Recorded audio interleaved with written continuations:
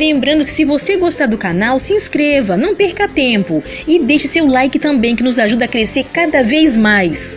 Então valeu! Se liga aí, tá chegando mais um áudio do livro O Diário de um Banana. Apertem os cintos.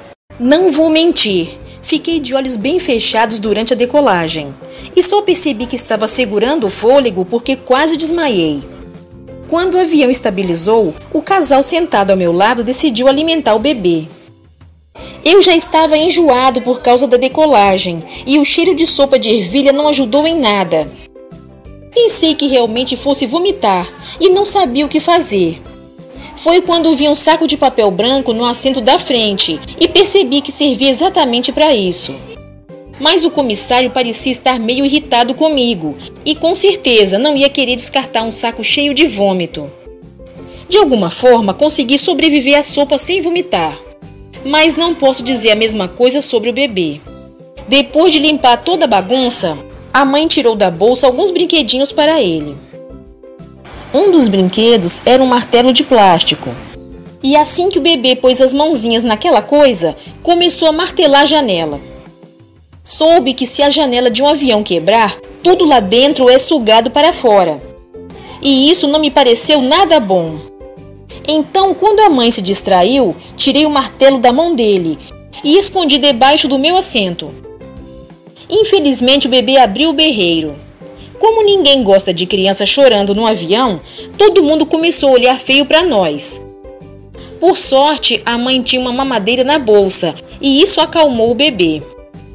Eu também estava ficando com fome, então chamei o comissário de bordo e perguntei quando iam servir a comida. Mas ele falou que as refeições eram só para a primeira classe e me deu um saquinho de amendoim. Então me lembrei do lanchinho que tinha trazido para o avião. Mas aí lembrei que tinha ficado tudo na minha bolsa de mão, que foi mandada lá para baixo, junto com o resto da bagagem.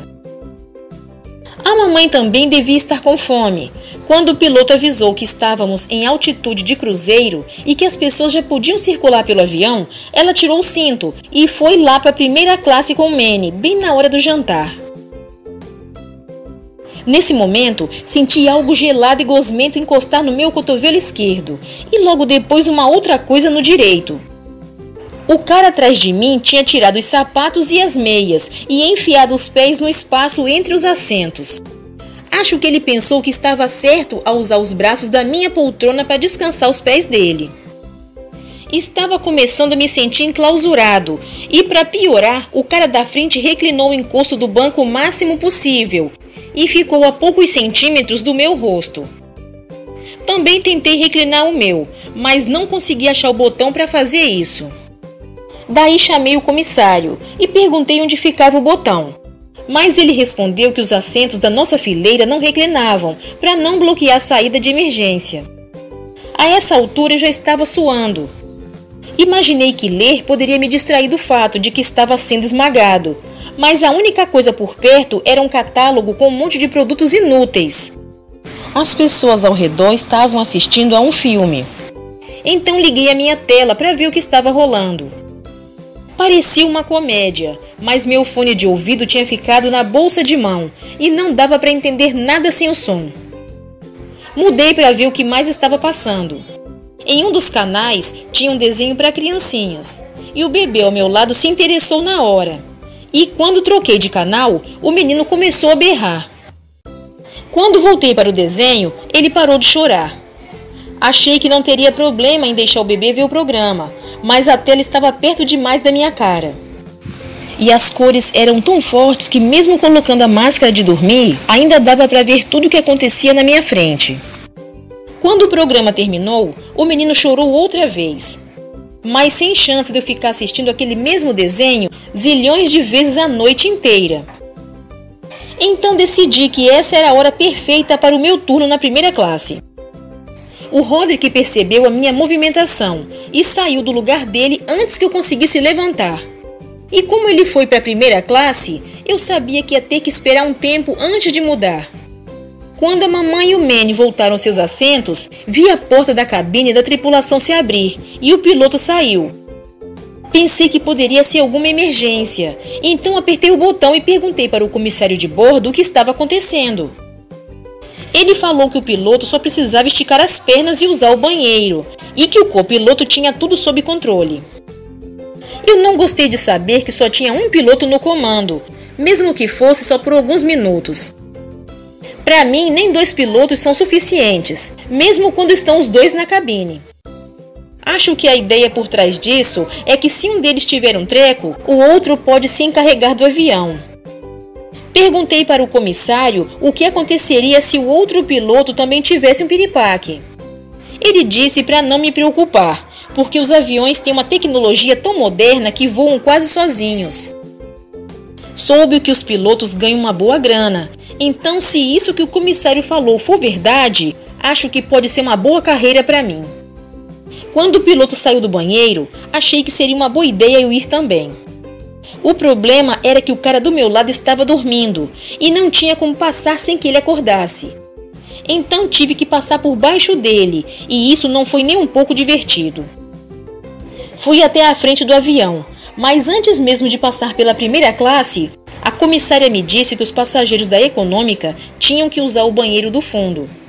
O banheiro da classe econômica era bem pequeno, mas ainda assim era 100 vezes melhor do que ficar espremido no meu assento parecia um mini apartamento exclusivo só para mim. Na aula de ciências, aprendemos que os dejetos humanos despejados do banheiro de um avião ficam sólidos e congelados.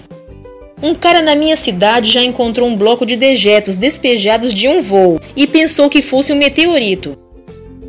O sujeito imaginou que fosse ganhar uma boa grana vendendo aquilo, mas quando a coisa descongelou, ele descobriu que não valia absolutamente nada. Quando me instalei no banheiro, percebi que não tinha motivos para voltar ao meu lugar. Então, quando alguém aparecia para usar, era só fazer uns barulhos até a pessoa dar no pé. Teve alguém que devia estar bem apertado, porque sacudiu a porta com tanta força que pensei que fosse arrancar a maçaneta. Daí a pessoa acabou indo embora. Só que alguns minutos depois, o banheiro inteiro começou a tremer. Quem fez isso precisava usar o banheiro muito mais do que eu, então abri a porta. Mas não tinha ninguém lá fora.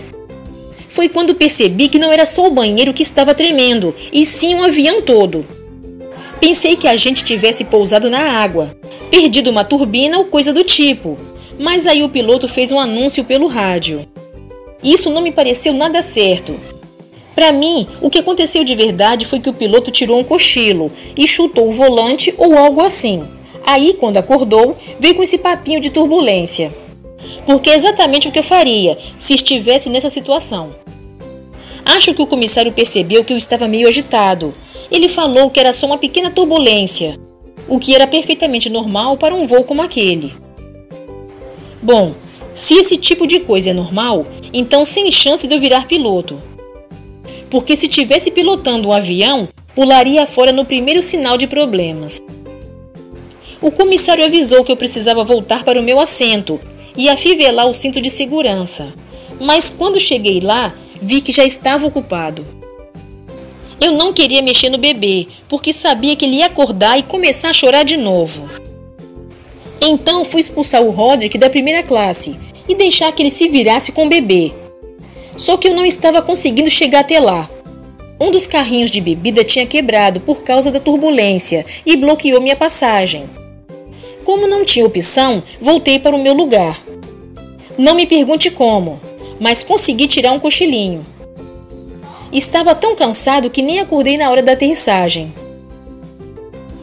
Continua no próximo vídeo o Diário de um Banana. Apertem os cintos.